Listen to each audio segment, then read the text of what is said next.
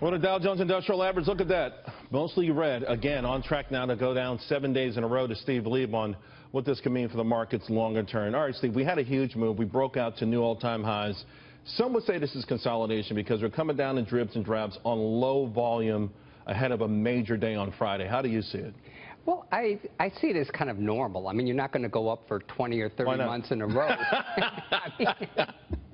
and and and you know, the market pulls down, pulls back a little bit.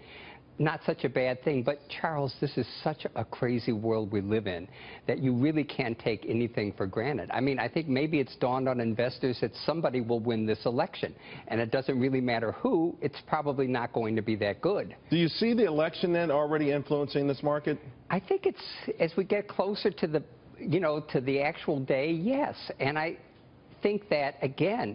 I mean, for me, I mean, I've said it to other people, but it feels literally like when I wake up in the morning, I'm in a parallel universe. I just can't believe who's running on both sides. I mean, it's hard to. But are you concerned then about the, the impact to the economy? I'm very or, concerned. Or, I, I, think this economy has. I mean, had, for instance, today we had uh, Donald Trump uh, telling Stuart Varney uh, he's going to double Hillary Clinton's uh, infrastructure plan. Now, he put out a number 275.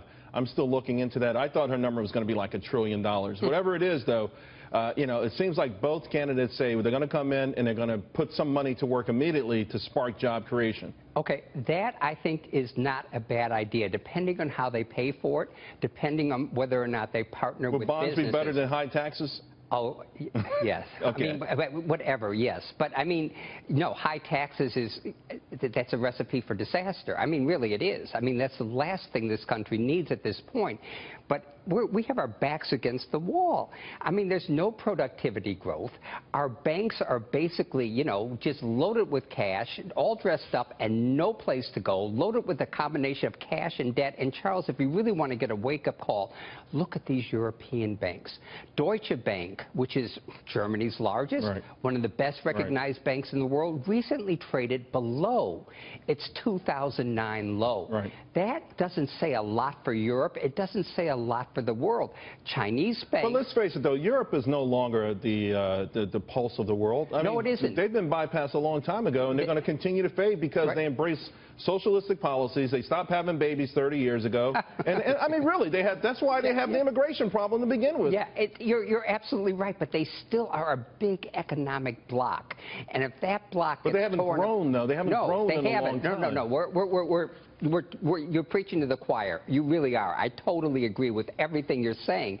And it's unfortunate, though, as a legacy, they still have very big economies. And if those economies start coming unraveled, right. it means a lot of debt comes due, uh, you know, to Let our banks, et cetera. Um, for the investor watching then, uh, and, and they held on through the thick and thin of this, you know, it's been a wild ride.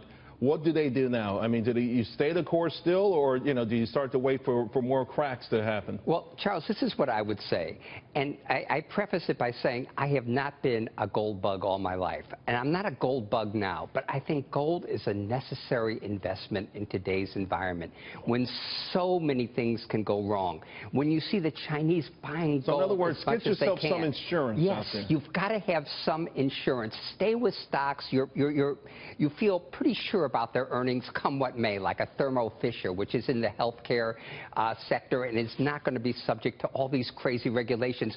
Whomever is going to get rid of these right. regulations, right. Charles, you mentioned higher taxes, right. get rid of regulations, not higher taxes, spend the money, get productivity going.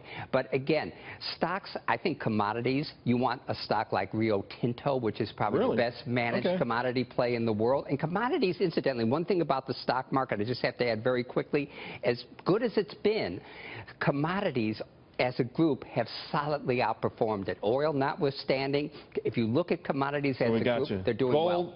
Thermo, TMO, yes. and a little Rio Tinto. There you go. All right, you Steve got Lee, it. Thanks a lot. I appreciate it. Thanks, Next. Charles.